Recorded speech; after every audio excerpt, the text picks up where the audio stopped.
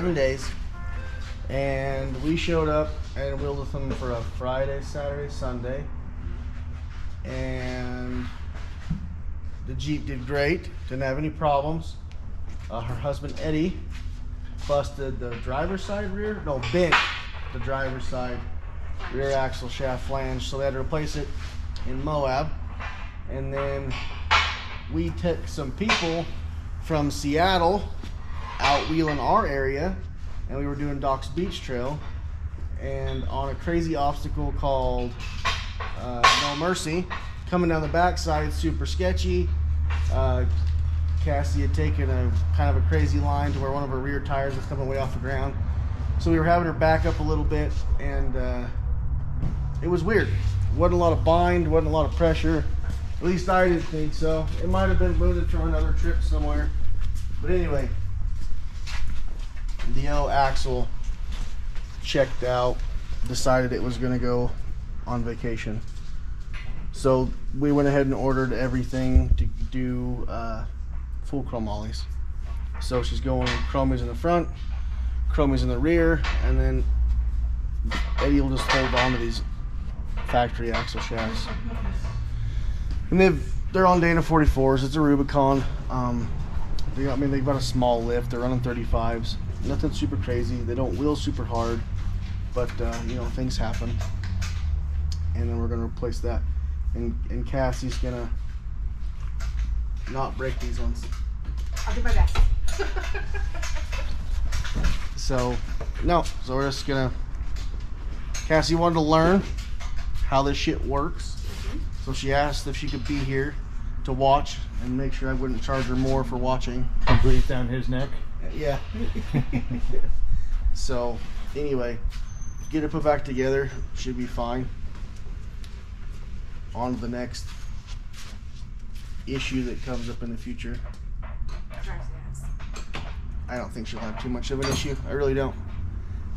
Not not with the way you know, they're very very they love wheeling hard, but they're very cautious, they pay attention. She pays good attention, you know. So I don't I don't think that they're gonna have any further issues for a long time, axle wise, or even uh drive shafts. I think she'll be fine. Until we put a bigger lift and bigger tires. Then I'm she'll in 2024. then I'm sure she'll break more shit. Oh, already fucked up. Lift probably after ride. So, remember when I said that like, those are special order? If you I know they're special order, and I was really just fucking kidding around, you know. All he ever does is talk shit. He was doing a burnout, and uh, grenaded the rear end. So we're gonna pull the Ford nine inch out, find out what broke, maybe do a couple upgrades. Maybe put a spool in it, maybe run the gears a little lower. It's a Model A with the 351 Ford in it. That's the. So, I was thumbing Facebook Marketplace because I mean, what, what other things do men do while they're at home? And I found this gem of a 1989 Jeep Cherokee XJ. I don't even know where to begin. So, what I will tell you the longer you look, the more it hurts. I have a list here of all the things that it is. The motor is a 4.0 out of a 98 WJ. The trans is an AX15 out of a 91 XJ. The transfer case came out of a 92 XJ. It's a 231. The front end is out of an 08 F350, and the rear is out of a 99 F250. It's a uh, it's a it's a Sterling 10.5. So now I want, I want to read you the listing if I can find it. Uh, okay, the listing. It's an 87 Jeep XJ. It has Dana 60s front and rear, locked with 455 gears. Full hydro, custom drive shafts, custom four link, coil spring front and rear.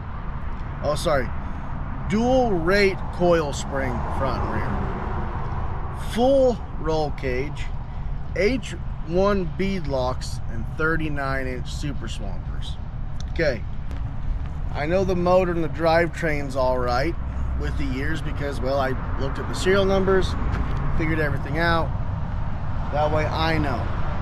So, if I know this is such a piece of shit, why would I buy it? Well, I want to take this running gear and drivetrain out of this clapped out piece of shit and I want to put it in a tube chassis buggy. So, first off, an 08 and a 99 do not have the same lug pattern. The front's an 8x170 millimeter. This is 8x6.5 standard. So it's got wheel adapters on the front, so the front end's way wider than the rear end. Um, I'm almost willing to bet anybody any amount of money that these are TJ 2.5 rough country coils all the way around.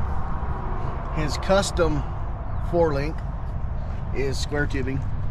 I'm not talking too much trash, but uh, if you could actually put your hands on this thing, you would see that it's uh, beyond beat to shit. He's tried to gusset the frame with what looks like sheet metal. The cheapest welder you could possibly get your hands on, a flux core. From what I could tell, there's probably quite a few people that's had their hands on this thing. There, there's some things that are that's well done, and there are some things that is like, what the hell are they thinking? So everywhere that the suspension is mounted to the frame, it is just, I mean, this legitimately is tapped. It has a half inch weld that, that's holding this to the frame. So the front and rear bumpers are aftermarket. I don't know whose they are, what company.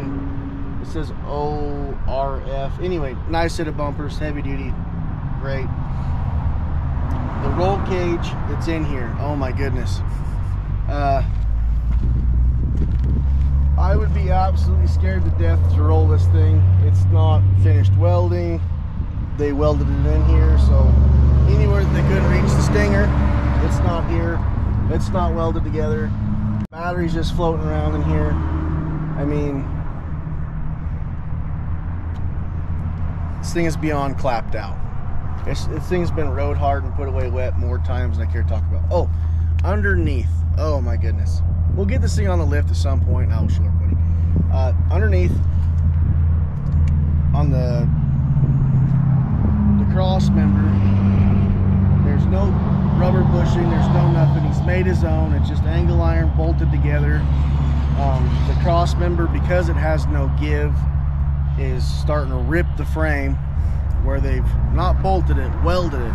So I mean, I don't know how you pull the T case without having a plasma cutter, but uh, it does run, it does drive. Um, I can tell you right now, there's no way in hell that this thing has 455 gears. I'm willing to bet anybody that's just got the factory 410s. These are not 39 inch tires. These are 38 inch tires that are, I think the DOT date was like 2004. So, I mean, they'll last in the rocks all about 10 minutes. But like I said, some things were done well. The rock sliders were, were done very well. Welded the frame. Um, the Heims that he's used to build the four link, I don't know what they are or where he stole them from, but I mean, they are. I've never seen Heims that heavy. So I will be robbing those for the buggy project, but I'm sure as hell not running square tubing.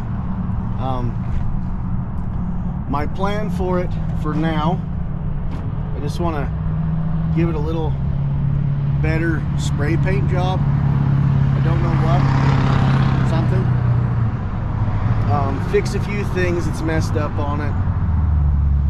Enjoy it for the summer as a spare rig, and then this winter I'll pull it apart. Um, probably looking at a 801 Fab tube chassis, and then I love the 4.0. I, I don't think that there's an engine out there that's more reliable, whether it's on its side, roof, back. It'll just run forever. Cheap to rebuild, cheap to maintain. Um, doesn't take a lot to keep it running. So I, I am definitely going with that drivetrain. The AX15 can go in the garbage. The 231 can go in the garbage. I don't know what trans I'll run, but I'll figure out something. Uh, oh, it came with full hydro. So you're thinking that it was it was cobbled together. So believe it or not, it's actually got PSC full hydro, which you know is a great kit. Um, the gentleman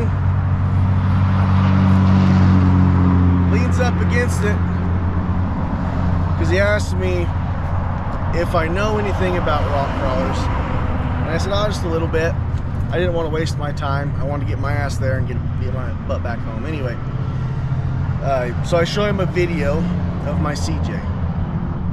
And he's like, oh man, what do you think you got in that thing? A hundred grand? I can tell you right now, I am I'm well below 20 grand into my CJ. And he leans up against this old bad boy and he says, man, I'm I'm at least 50 G's into this build. So you're getting you're getting the smoking deal. Um, this is not 50 grand. Nowhere near. Not even. Yeah. Anyway, so we're gonna rob the full hydro. Oh, so I asked the gentleman. I said, "So, do you want to do you want to look through the toolboxes? Do you want to look through the Jeep at all to make sure you have everything out that's yours?" And he's like, "Oh yeah, you know, no big deal. Whatever's there, you can have." So anyway, pop open the back. You guys, there is not one but two PSC full hydro pumps, pulleys and all. There's a brand new orbital valve that's just fine. Um, there was a whole bunch of hydraulic hoses. So, other than ordering a ram, I have everything I need to rear steer this when I do a buggy with another Dana 60 out of like an 08 Ford F350. So that's super cool. Um, so what I what I'm what I'm into it, what we give for it, what our plans are for it. When it comes to building the rig, it's way easier to find some hacked up backwoods wannabe bullshit mechanic build like this. Um, and they're not all that way. A lot of people do a lot of good work, but some people just should never touch tools and wrenches. But getting this as cheap as I did, um, it's got the full hydro, it's got the motor, um, it's got the front end, it's got everything that, that really matters to me. Uh, you know, this motor. So anyway, I got paperwork with the motor. Um, it was brand new in 2016, another Jeep. It was T-boned, yada, yada, yada. He put the motor in here. Um, so it's not got, I'm sure the miles that it has on it's not very good, but we all know the 4.0, as long as she's got oil in it, you can knock the shit out of it, it'll just keep moving. So, like I said, we'll, we'll piece it back together. I mean, he's got some funky stuff. Everything's held on by scab together welds. You know, I, I absolutely hate when people use chain as a limiting strap. It sets crooked, it sets cockeyed, it don't set square, and uh, it's got all kinds of different things that's going on with it. So we'll see. We'll see how it wheels. We'll see how it does. Maybe we'll go beat the living shit out of it somewhere just to see what it'll survive on. But like I said, it does run, it does drive. The four-wheel drive works. Everything. Other than certain people shouldn't have touched it. I think the original builder definitely shouldn't quit his day job. But uh, the other people that's had it throughout the time, I'm imagining, who's put the other things on that's done a little better. Um, he claimed to be the original builder. I mean, I would never want to claim that. If you look over here, I mean, it's it's just it's just it's just scabbed. Like I said, the more the more you look, the harder it hurts your brain. I mean, it's only welded on right here. There's no bolt through here through the fender. There's there's there's nothing else taking the stress of that coil spring other than it just tacked here and just setting here. Um, but I mean, if you look at it, you can tell it's been beat down about every trail known to man. And I asked the guy where he had taken it to, and he said five miles, the only place it's ever been. So I don't know. I don't know anything about the stickers that's on it or the other people who's built it or anything along that lines. In fact, yeah, I don't know. It's just cobbled together. So, you know, it's like anything else. Turn the key on, got a press button start, you know, it's just got, oh, we crawled underneath it when we got it back. And the damn 231 transfer case has, I don't know, six cracks in it. And it's all JB welded up and leaking fluid everywhere all over the shop. So, a little bit of a rattle can. There's a bunch of cracked welds and stuff that at least needs to be addressed so you're not doing this shit on the trail. But my biggest worry about wheeling this thing and getting two buck wild with it is is honest to God, it's it's it's, it's this cage, man. Like it's just not. And they, they it's way too low. I mean, you run over a marble, you about whack your head on the cage. Like it's not it's not comfortable. I absolutely hate it when they have this stupid ass intrusion bar. There's no reason you can't run it down lower. Anyway, tomatoes, tomatoes, different strokes for different folks. But we'll put a little bit of time in it. When I say a little bit of time, maybe, maybe a weekend, and then take it out, run it, do something crazy. Or I don't know, maybe they'll have a mud bog event or a tough truck event, and we'll go jump the hell out of it or something. I think the parts I need will stay together, and the parts I don't need will just check out. So, and then this winter we'll just strip it.